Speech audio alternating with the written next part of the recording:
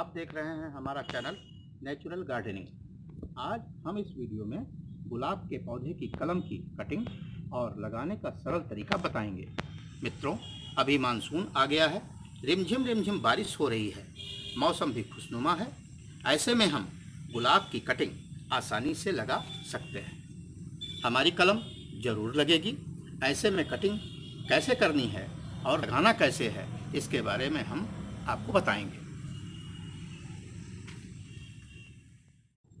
मैंने अभी कुछ दिन पहले गुलाब और गुड़हल की कलम लगा रखी है और तकरीबन हफ़्ते भर पहले का है ये लेकिन हमें ऐसा लगता है कि कोई ऐसा आ, कलम नहीं है जो कि नहीं लगा है। सब लग चुके हैं। देखिए इसमें भी बट्स निकल आई है गुलाब का है ये आ, कलम। इनमें भी देखिए बट्स निकली क्या पत्ती बन गया बन गई है। और इनमें सब में देखिए कोई ऐसा नहीं है जिसमें बट्स या पत्ती ना आ गई हो, और हार्डली छः दिन इसको हुआ होगा। तो काफ़ी सक्सेस है, देखिए इसमें रेता भी मिला हुआ है, और गुलाब, गुड़हल दोनों लगाया हुआ है। काफ़ी अच्छा ये देखिए, गुड़हल का है ये, और ये हाइब्रिड गुलाब है, और ये भी हाइब्रिड गुलाब है, ये भी हाइब्रिड गुलाब है। काफ़ी अच्छा इसकी, इसका जो है परफॉर्मेंस दिखाई दे रहा है।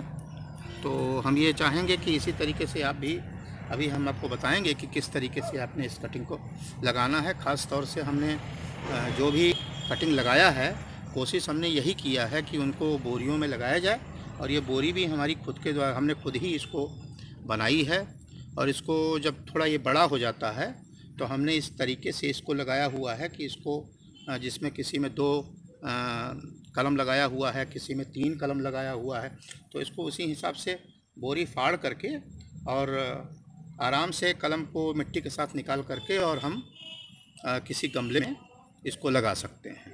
तो ये बहुत ही अच्छा लगा है और इसे, क्योंकि जो है बार बार नर्सरी में जा कर के और गुलाब के पेड़ को और गुड़हल के पेड़ को ख़रीदना काफ़ी एक्सपेंसिव पड़ जाता है तो ये हमने इसी तरीके से कलम लगाया है और ये हमारी नर्सरी एक तरीके से है, काफ़ी सक्सेस हुई है।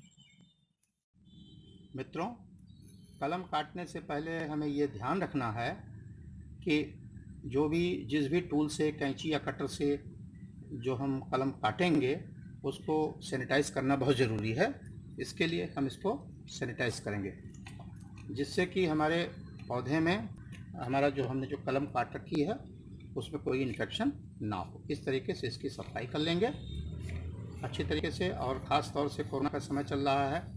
जैसे हम अपने हाथों को साफ़ करते हैं, मास्क साफ़ करते हैं, उसी तरीके से इसको भी हमने साफ़ करना है। और साफ़ करने के बाद ही हमने कटिंग करनी है। मित्रों, अब हम गुलाब के पौधे की कटिंग करने जा रहे हैं। ख़ास तौर से ऐसे जगह पर, ऐसे जगह से आपने कटिंग करना है। जो स्थान थोड़ा ब्राउनिश हो गया हो, जो टहनी थोड़ी सी ब्राउनिश हो गई हो, वहाँ से आप इसको काट सकते हैं। ये काट लिया आपने। अब इसमें देखिए कई ब्रांचेस हैं। आपने इसको 8 से 10 इंच का होना चाहिए आपकी कलम, और उसको आपने एक डेढ़ इंच अंदर भी डाल देना है। इस तरीके से हमने एक ही कलम काटी है, और कोशिश करना है कि थोड़ा पकी हुई ब्रांच हो। जब ब्रांच पकी हुई होगी तो आपकी कलम अच्छी तरीके से लग जाएगी।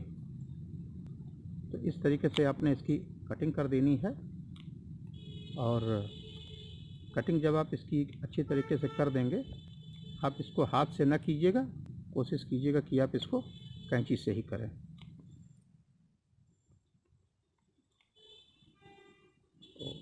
अच्छी तरीके से ये लग जाएगी। अब हम आपको इसको लगाने की प्रक्रिया बताते हैं। फ्रेंड्स, अभी मैंने अपना एक छोटा सा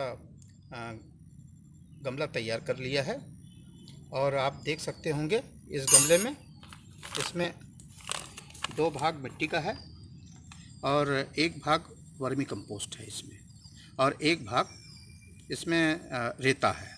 तो इस तरीके से हमने चार भाग को मिक्स करके और हमने ये मिट्टी बनाई है, जो कि एक बैग में लगाया है हमने। और इसको हम थोड़ा थोड़ा पानी निकलने के लिए, ड्रेनेज के लिए इसमें थोड़ा छेद कर देंगे, कि जिससे पानी आसानी से जो भी हम इसमें पानी डालें, वो पानी आसानी से इसमें से निकल सके। इस तरीके से आपने इसमें छेद कर देना है। घुमा घुमा करके चारों तरफ़, किसी नुकीले धारदार आइटम से। और इस तरीके से इसमें छेद हो गया है। और इसमें मिट्टी अच्छी तरीके से डाल दिया है हमने। अब कोशिश करना है कि जो आपकी कलम है, उसको आप सेठे की जैसे कलम होती है, पहले चलती थी, उसी तरीके से आप इसको छीन लीजिए। हमारा अपना तरीका है, हमारा अपना नुस्खा है। अब इसको किस तरीके से लगाते हैं और देखिए हमारे पूरे जो कलम पहले की लगी हुई है वो भी सक्सेस हुई है। हम इसमें ज़्यादा कुछ नहीं डालते हैं। हमारा अपना तरीका है। इसको उंगली से ऐसे करके तकरीबन डेढ़ दो इंच और ऐसे इसमें आप लगा दीजिए। और एक कलम और हमें मिली हुई है। उसको भी हमने इसी तरीके से किया हुआ है। और इसको आप इस तरीके से ब्लेड से शार्प करके 45 डिग्री का काट के इसको 45 डिग्री शेप में, और इसको आप उंगली से इस तरीके से काट के, और इसमें इसको आप सही तरीके से लगा दीजिए।